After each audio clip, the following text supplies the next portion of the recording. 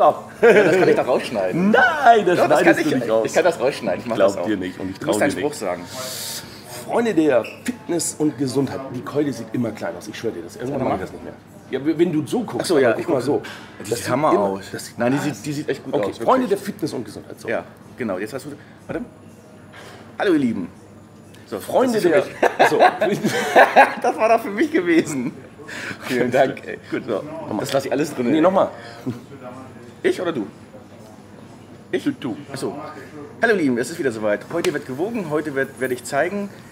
Äh, ich habe ein gutes Gefühl, ich habe mich zu Hause nicht gewogen, mit Absicht nicht. Echt nicht? Nein, ich, ich mich wiege mich nicht zu Hause nicht, ich wiege mich nur hier, weil wenn ich mich zu Hause wiege, dann und es, es ist nicht runtergegangen, so wie ich möchte, habe ich so viel Stress und mache mir so viel, so viel Krampf. Also abends. Mhm. Und ich weiß ja, dass abends noch viel passiert im Körper und ähm, deswegen lasse ich das. Aber ich habe ein gutes Gefühl und Achso, darf ich gar nicht sagen. Gestern nochmal richtig mal. Gas gegeben. äh, gegessen oder Also, nee, also muss ich jetzt mal dazu sagen, du weißt ja, können wir auch sagen, Hm? ich habe Schrott gegessen. das ist, das ist eine super Diät. Ey. Jetzt kommt's, jetzt kommt's.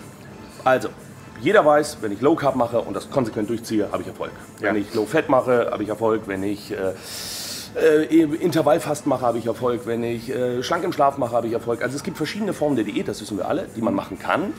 Jetzt kommt das Interessante. Und das werde ich als Geheimnis verpacken, weil der Trainer geht da oben gerade lang und lächelt. Er geht auch extra langsam. Jetzt kommt das Geheimnis. Nein. Also, und, aber ich weiß, dass da draußen natürlich viele sitzen, die sagen, pass mal auf, Sascha, ich habe äh, äh, keinen Druckfaktor, weil ich mache keine Meisterschaften, ich bin kein Fotomodel und ähm, deshalb lasse ich mich oft eher mal gehen. Genau. Ja, und deshalb geht es mit der Jetzt Diät nicht ich, so jetzt voran. muss ich so, entschuldige, dass ich jemand Musst du, falle, musst du. aber wenn du, kein, wenn du kein Ziel und kein, oder keinen Druck hast, wird es nicht funktionieren. Das sehe ich bei mir. Oder ihr verwendet das System, was, ich weiß nicht, du hast ja super gut wieder gegessen, aber ich, oder ihr verwendet das System, was ich gemacht habe. Dann Okay, kannst du jeden Tag nämlich Schrott essen.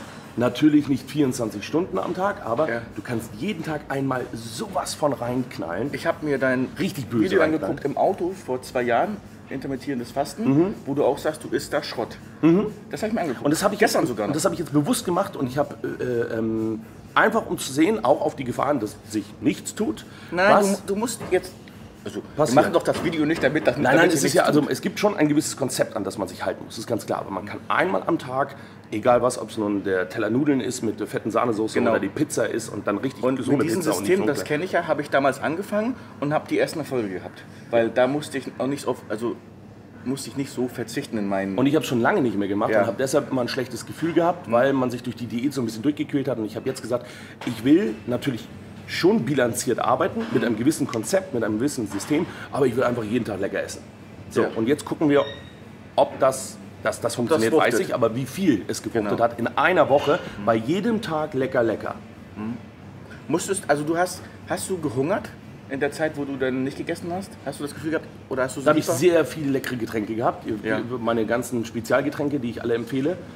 Das ist schon sehr lecker. Ich hatte gestern Abend ein bisschen Hunger gehabt. Und oh, äh, die Säfte habe ich getrunken, die ich neulich empfohlen habe. Diese kaltgepressten Kaltgepressten- Säfte. Die wollte ich mir heute holen. Und langsam geht das Gefühl weg, dieses, oh nein, darfst du nicht, da ist ja Zucker Dr. drin. Uli Strunz Oh. sagt, ja? Enzyme halten jung, machen Ja. jung. Und er hat gesagt, Gemüse und ähm, kaltgepresste Säfte. Hat er immer, sagt er immer, immer wieder. Und ich habe, glaube ich, mindestens pro Tag, mindestens eineinhalb Liter direkt gepresste Säfte getrunken. Der ganze Zucker, du bist ja irre. Hm, Ja, wir werden sehen, du bist ja irre. ob das ein Mythos Ähm, ist oder ob da draußen ganz viele Leute sitzen, die Tipps geben und keine Ahnung haben. warte, warte. Ja, genau. muss rausschneiden, ne? Muss ich rausschneiden? Ja, muss Das hier raus. Warte, warte, warte, warte. Wegen der neuen DSGVO-Verordnung. Die hat uns gar nicht beachtet. Ich schneide sie trotzdem raus. Wir sind eben noch nicht attraktiv genug, als so Das heißt, ne? Ich wollte aber sagen, ich hatte nicht ein. Wir machen das jetzt von. Wie lange machen wir das jetzt? Von, früher im Fitnessstudio nicht gegeben hat. Jeder Von- jeden begrüßt. wir machen das jetzt eine Woche, ne? Was? Eine Woche jetzt genau. Und ich hatte in dieser Woche, obwohl ich ja auf Diät bin sozusagen, nicht einmal schlechte Laune gehabt und ich hatte immer Energie gehabt. Also ich war immer auf Mhm. und wollte unterwegs. Weil viele fragen, ja, ich habe ja in der, in der Diät keine Energie, ich bin immer müde, ich bin schlecht gelaunt. Nein, es geht auch anders. Es geht auch anders. Es, gerade, Es muss auch anders gehen. Es geht eigentlich immer einfacher, je mehr Ahnung man hat. Wenn ich mir einen Computer kaufe und habe keine Ahnung, dann kann ich nicht mal eine Excel-Tabelle installieren. Weil ich ja keine Ahnung habe. Was ist das? Äh, Ach, ach so, ich weiß, was das ist. Okay. Okay. Ich weiß was. Ich, sag, ich sag's aber auch nicht. Nee, ich sag's nicht. Also, nein, ob du sag, nein, sag es Kondome nicht. rausgezogen. Vamos! So, wollen wir wiegen? Ja, wir wiegen. Okay, okay, let's go. Wie geht der Stift? Wie geht der Stift? Achso, wie geht der Stift? Ich, ich, ich filme erst, wenn die Waage äh, anzeigt und dann Kamera runter und dann mache ich noch Musik rein. Okay? Kamera runter. So, Kamera. Und steht drauf. Also ich muss auch.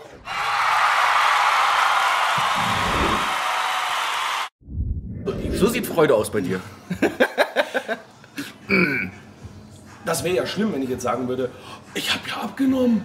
Das ist ja unfassbar. Das war mir ja klar, dass das Ja. passieren würde.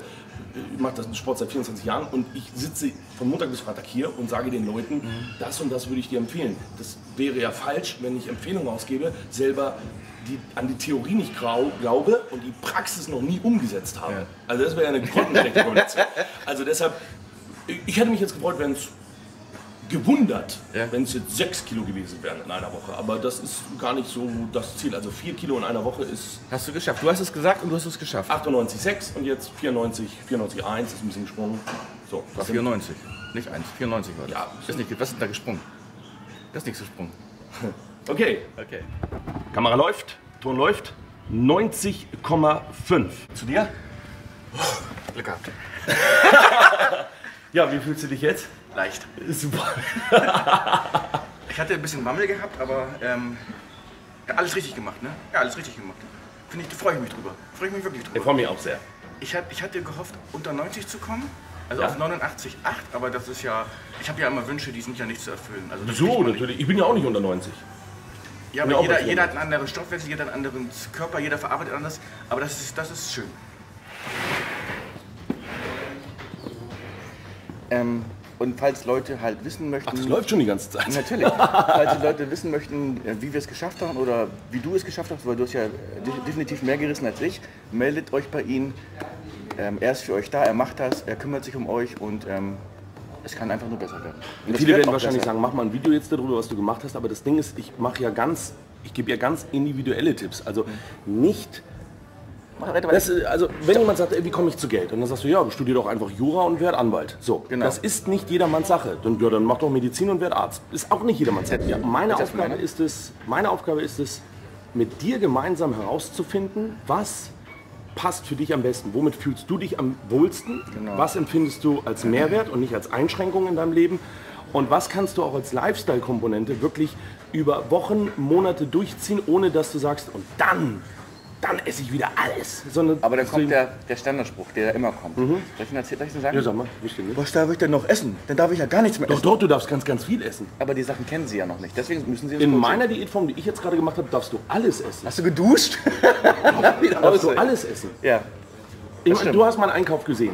Ja. Das war mir sogar ein bisschen unangenehm, als, du in mein? Auto, als du in mein Auto reingeguckt hast und habe ich gedacht, oh Gott, jetzt sieht er diese große, lange, das können wir mal sagen, Ja. große, lange, fette Baguette-Stange. Ja, aber ich und weiß die ja, Tüte war voll mit Leckerlis. Aber ich weiß, ich sehe das zwar, aber ich weiß ja trotzdem, dass, dass du es schaffst. Deswegen mache ich mir gar keine Gedanken drüber. Fragst du dich nicht manchmal, wie geht das denn? Nö, ich weiß ja, ich weiß es ja. Ach so, okay. Also das, Manchmal frage ich mich das sogar. ich, ich begreife das ja, dass es funktioniert. Damals Ja. hätte ich gesagt, der erzählt mir was von Abnehmen und hat Baguette-Stange im Auto. Ja. So hätte ich damals gedacht, aber das ist ja nicht mehr so. Abgerechnet wird am Strand. Genau. So, also ich gehe nicht mehr zum Stand. abgerechnet wird auf der Ich gehe noch Waage. ins Hallenbad, angezogen. Freibad ist gar nicht meins. Jetzt hätte ich beinahe meinen Bauch gezeigt. Ich hätte das rausgeschnitten. Ja, ich glaube dir überhaupt nicht. Warte, warte, Trau dir Sonst sieht man mich nicht. Ich bin ja so breit und dick, sonst sieht man mich nicht. Ich kenne doch meinen Bauch. Ich habe doch bei Facebook jetzt neulich vom MBS Fotos hochgeladen. Da sieht man doch, wie ich aussehe. Ja, aber ähm, ich würde es auch gerne nochmal sehen. Ich meine, ich habe das Foto gemacht, ne? Oh, lecker, lecker, lecker, lecker, Oh, ich hab schon gedacht, ich krieg nichts. Hast du schon gedacht? Ja, hab ich gedacht, das ist mir das aber So denkst du? Ich war mir nicht ganz sicher. Denkst du wirklich so? Ich war mir nicht ganz sicher. Ich habe ihm jetzt bis jetzt immer zum Training was zu trinken mitgebracht. Und jetzt denkt er, ich war mir nicht ganz sicher, ob er mir was mitbringt.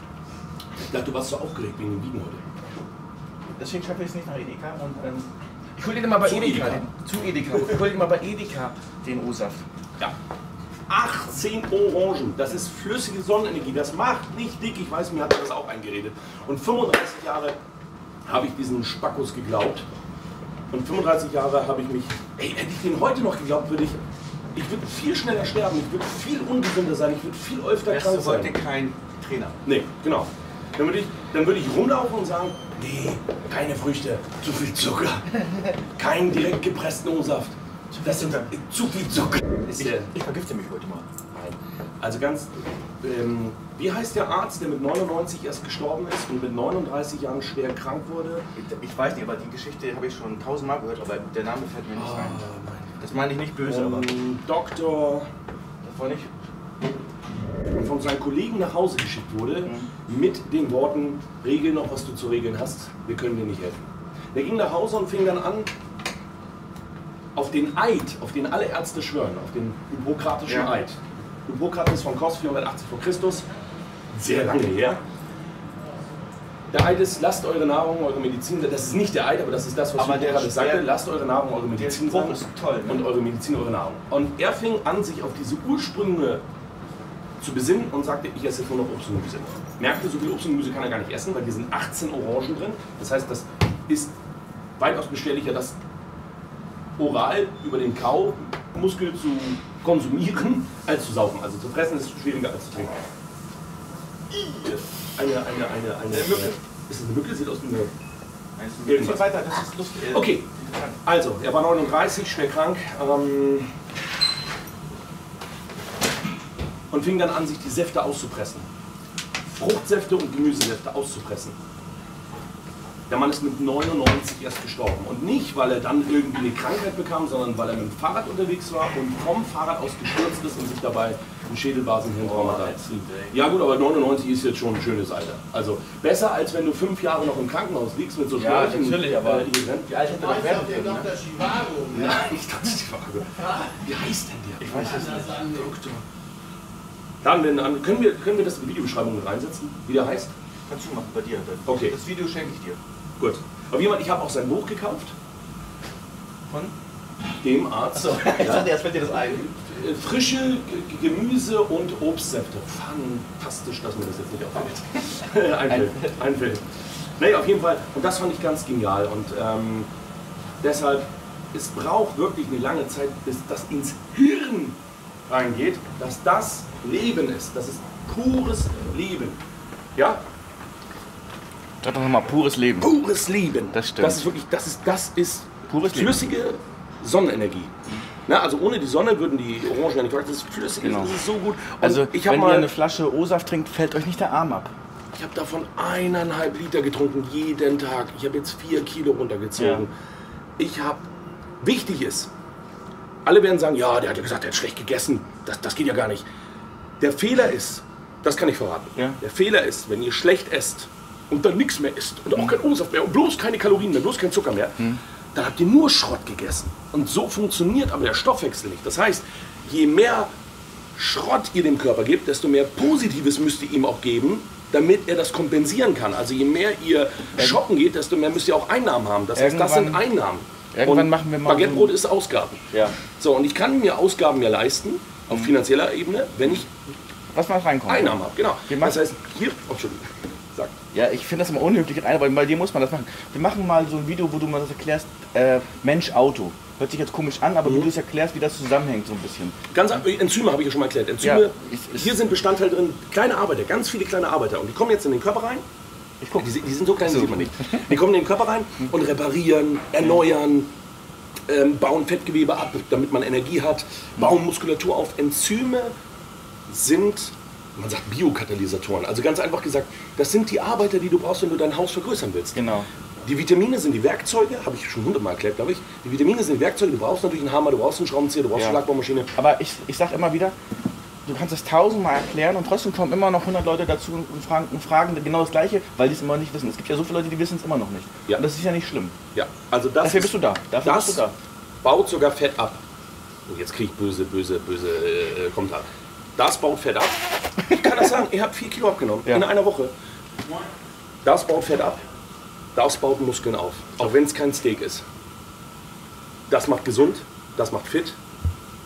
Das macht deine Es tiefe Stimme. zehn Leute, die sagen, Haut. mach das und einer sagt, mach das ist auch richtig und trotzdem werden den zehn Leuten Ich würde lieber nicht den 10 glauben, lieber dem einen. Ich glaube, mein Standardsatz ist, Bill Gates hat da. Nee. Aber alle haben. äh, Oh, darf man doch gar nicht. Oh, das darf man gar nicht sagen. Ne? Nee, mach ich raus. Okay, ähm, mein Standardsatz ist, Ja, genau. Bill Gates hat bestimmt kein Konto bei einer ganz normalen Bank.